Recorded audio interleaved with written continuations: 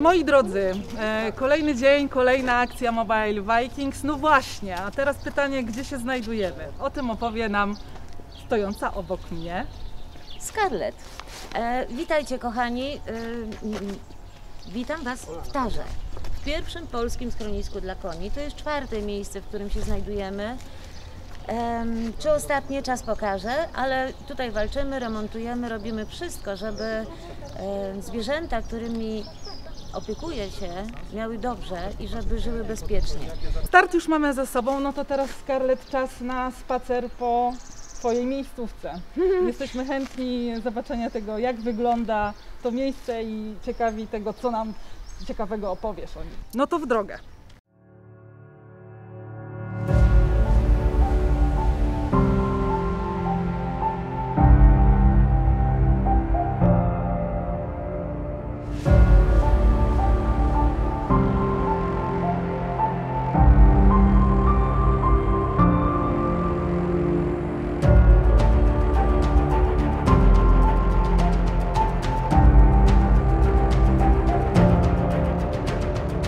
Słuchajcie, jesteśmy przed e, wejściem do Tary i muszę Wam powiedzieć, że tak, e, dwa lata temu jeszcze o w tym miejscu, gdzie rośnie las, tutaj była potężna góra, ogromna gruzu, śmieci, szkieł, prętów, wszystkiego.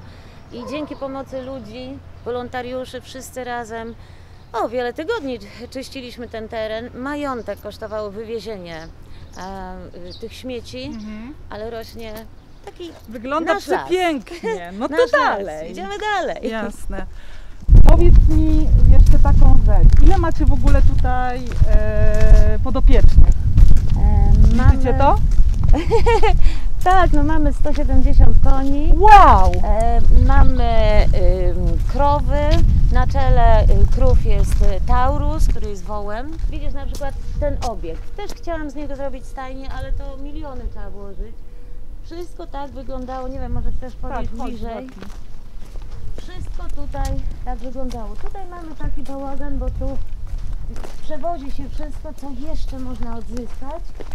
Wiadomo, część na opał. To, co ważne, przeżyliśmy zimę kolejną. Ja zawsze mówię, tak. że, że przeżyć zimę to, to dla nas jest wielkie wyzwanie. Mobile Vikings e, też e, daje swoją cegiełkę do tego, aby koniom żyło się w tym schronisku jak w bajce. Także dostarczyliśmy również dla Was e, garść podarunków. Mamy nadzieję, że się przydadzą. Ha, moje konie szybciutko i ze smakiem to zjedzą, w szczególności, że to jest karma specjalistyczna. Zawołamy naszych wikingów, żeby pomogli w e, Rozładunku. roz, rozładunku, ale my jeszcze pójdziemy dalej, żeby e, pogadać o tym miejscu.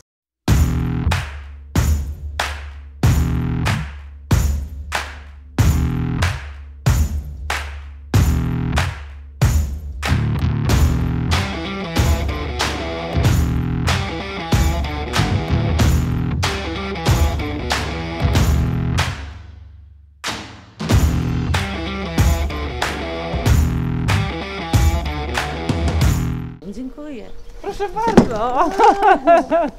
Na zdrowie, jak to mówią. Jesteśmy teraz przed stajnią ze, z sianem i z- ze słomą. Tak, tak. ze słoną. Jak widzicie, jest tam trochę tego, ale to wciąż jest ilość niezadowalająca.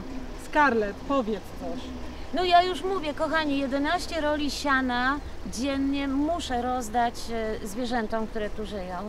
To jest taki cykl życia, tak? Okej. Muszą jeść, my musimy sprzątać, ale najpiękniejsze jest karmić koni. No to chodźmy dalej.